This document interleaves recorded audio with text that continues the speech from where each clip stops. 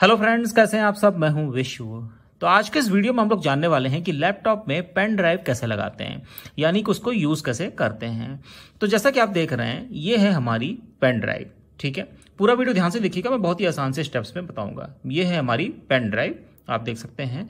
अब इसको लगाना कहाँ पर है?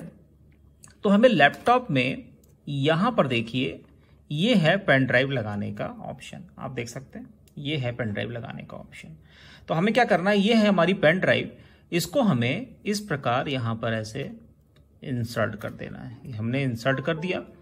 अब ये पेन ड्राइव यहाँ पर लग गई, ठीक है?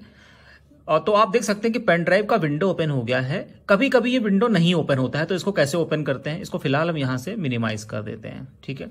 अब इसको ओपन कैसे करते हैं? इसके लिए हमको जाना होता है डेस्कटॉप पर दिस पीसी फोल्डर में. ये देखिए. यहाँ है दिस पीसी दिख, आपको दिख रहा है यहाँ डेस्कटॉप पे ठीक है? अच्छा मेरे कंप्यूटर में डेस्कटॉप पर ये दिस पीसी नाम से है हो सकता है आपके डेस्कटॉप पर ये माई कंप्यूटर के नाम से हो ठीक है? तो इस पर डबल क्लिक कर दीजिए। तो जो भी पेन ड्राइव आप लगाएँगे वो यहीं पर शो कर, शो करेगी। ये देखिए ये है यूएसबी ड्राइव हमारी ठीक है? इस पर डबल क्लिक करेंगे तो ये देखिए ओपन हो गई।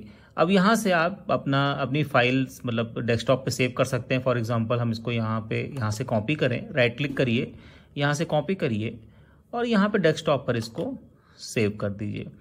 तो आप देखेंगे, ये रिप्लेस डेस्टिनेशन कर दीजिए। ये देखिए, जो इमेज यहाँ थी वो यहाँ पर सेव हो गई।